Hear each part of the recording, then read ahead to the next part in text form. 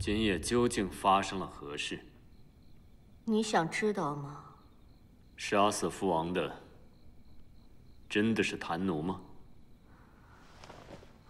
除了他，还能是谁？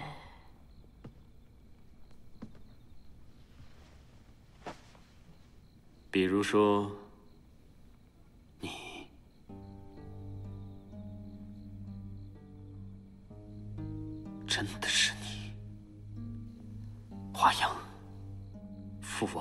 如珍如宝，你怎能忍心痛下杀手？既然你早已猜到了，为何不肯拆穿呢？我若当众拆穿你，父王之死便会永久蒙上肮脏的阴霾。身为人子，我怎忍心看他沦为天下的笑柄？子楚，你别忘了，你是我的儿子，这是人尽皆知的事实。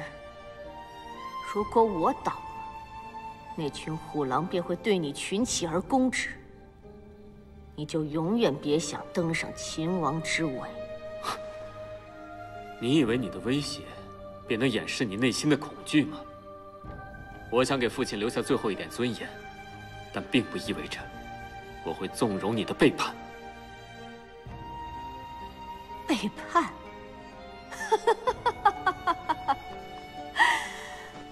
背叛？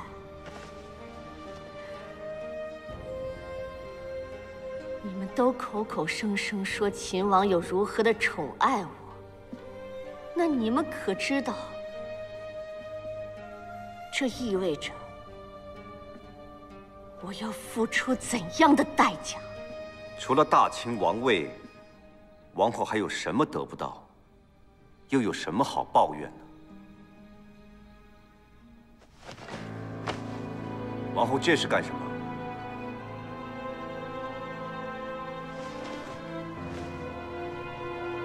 子楚，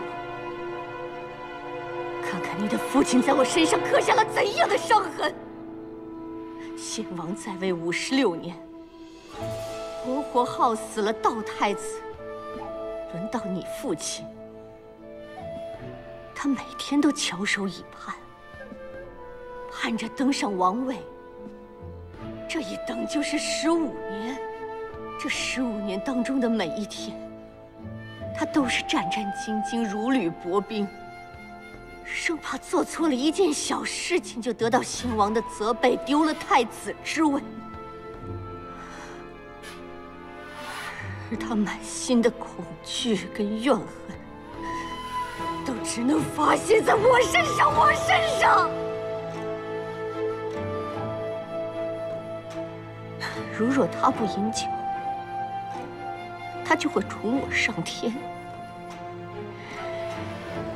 是饮醉了，他就会变成世上最恐怖的魔鬼。等他酒醒了，他又会变成那个千依百顺、爱妻如命的好丈夫。看那子楚，来看看你伟大父亲的杰作。杀了他。不是我，我只是保护自己。真正虚伪的是您的父亲。先王死的时候，他竟然在大殿上跳舞，还要装作伤心欲绝的样子，逼我做那个恶人。他为的是什么？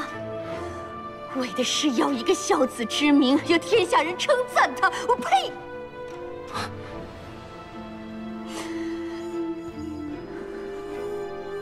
吕不韦，你不是天下最能言善辩的人吗？你说呀，你怎么不说话了？这么凉的天气，王后可别受了风寒啊。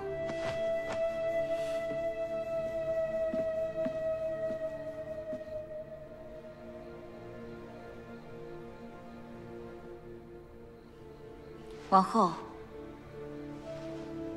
刚刚发生的事，我都听说了。于是我去请了医师，检查了秦王的尸身。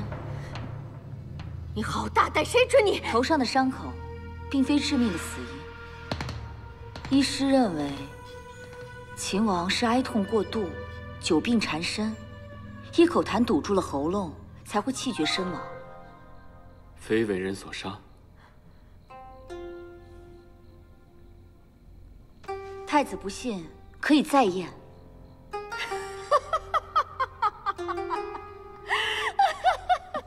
久病缠身，久病缠身，让你去装孝子，让你去沽名钓誉，死得好，死得太好了！你们两个站在这儿做什么？女人的事就该女人来解决。父王的丧事正在操办，还不快去！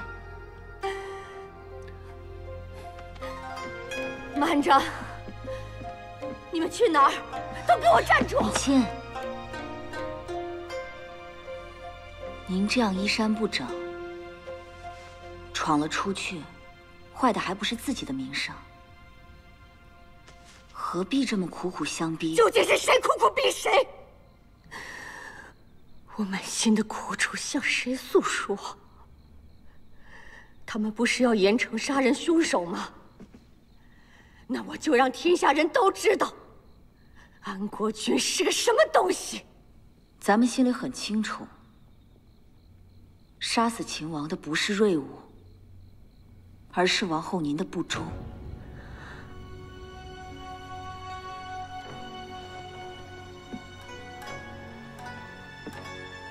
王后的所作所为，不过是赢得他们的怜悯和愧疚。毕竟王后曾经给予了子楚莫大的帮助，利用这份恩情，换取了永远的沉默。短短的时间里，您能想出这样的法子，王后的确是个不寻常的人物。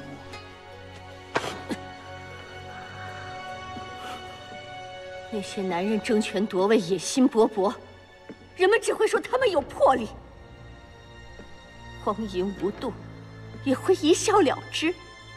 可是你看那宣太后，扶持幼子，攻灭义渠，临朝称制四十一年，最后竟落个妇人乱政的骂名。是，我是给自己找了个情人。我是活活气死了秦王，可是跟那些杀兄篡位的野心家比，我差远了。若今夜秦王酒醉辱您，您奋起反抗杀了他，我还得赞您一生有血气。可王后很清楚，今夜到底发生了什么。王后啊！从赵国到秦国，满眼都是流民，遍地都是饿殍。您身处上位，想的无非是个人喜乐、家族富贵。您为百姓做了什么？若您真和宣太后一样，安稳秦国政局，缔造不世功勋，那我要为您喝一声彩。但请恕我直言，就您这点格局，不配和宣太后相提并论。太子父，好了，王后。事已至此，各退一步。请您在最后时刻，负起一国之母的职责，好好送秦王最后一程。若您下回再胡闹，我便请人送您去闹市，让您好好哭个够，看看秦国百姓会不会同情一个因情杀夫的女人。您可别忘了，子楚做不出的事，我可未必。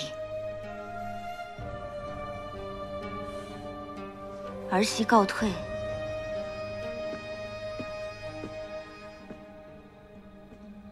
王后，怎么还没教训够吗？